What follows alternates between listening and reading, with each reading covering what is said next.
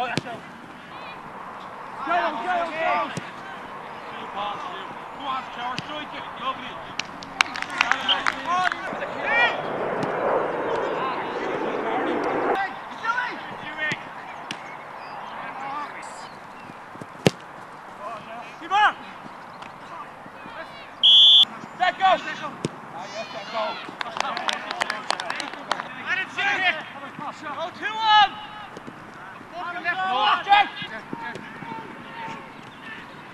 Come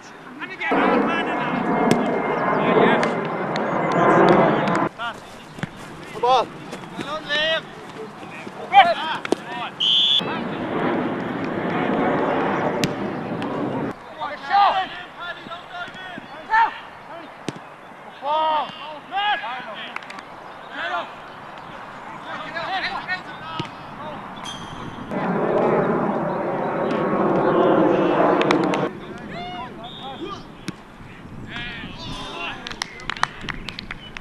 So, Terry, what you make of that?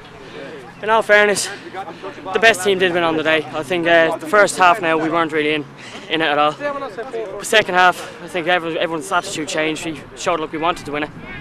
And uh, fair play to Garrodi, kept us in it a few times. Uh, we were lucky not to get a few, well, we had chances but we were lucky not to finish them. I think uh, have to work on the fitness now towards the end of the season and hopefully keep us in it. What do you make of the referee? I thought the referee was out very bad today. Uh, a few well, a lot of decisions went against us when a few handballs, a few sliding tackles, and a few blatant kicks to people on the team. But at the end of the day, they had the look.